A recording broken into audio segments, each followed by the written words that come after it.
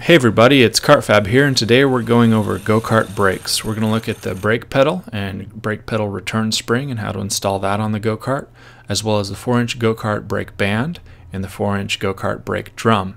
Now if you're just watching this video for the first time, this is part of a series that I've put together on how to build a go-kart using this go-kart parts kit that I have in a link in the description. If you're just looking for the brake band or other brake parts, I also have links in the description for those.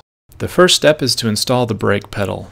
The brake pedal requires a 5 16 inch bolt uh, right through the hole you drilled into the frame and then a nut to secure it. You want to make sure there's a little bit of play in there and it can rotate freely. If you look here, the tie rod clearance is very important. You don't want to slam on the brakes and accidentally hit the tie rods. So we install what are called pedal stops. You just take some 3 8 inch round bar and you weld pedal stops to prevent the pedals from over rotating to contact the tie rods or from coming towards you too far. Next is the brake return spring. This will hold the brake in its disengaged position towards you when your foot isn't on the pedal, so it'll keep the brake band from contacting the brake drum just while you're driving around, not pressing on the brakes.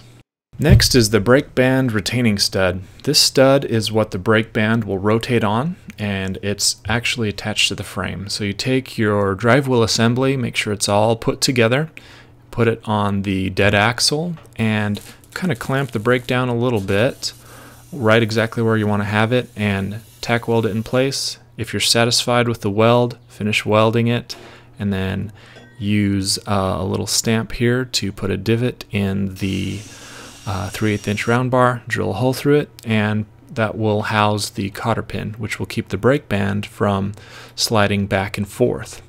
What you do is you slide the cotter pin through it and bend the edges down, and your brake band can now freely rotate back and forth as you press the brake pedal.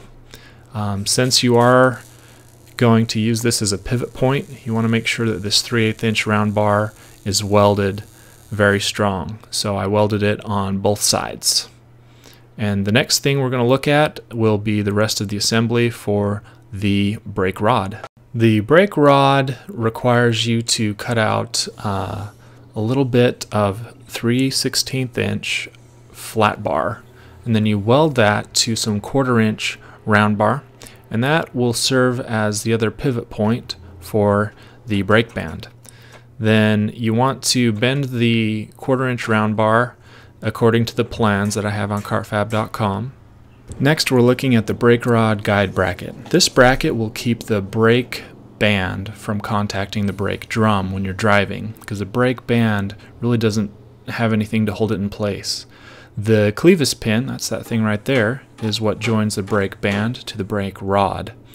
So Moving on to the other end of the brake rod, after you have everything adjusted just right, you use a C-clamp to clamp the quarter inch brake rod to the pedal. And you make sure everything rotates freely, make sure that you can actuate the brake pedal and the brake band will contact the brake drum and there's no dragging when it's not and then weld it all up. I'm TIG welding but again you can use any type of welding.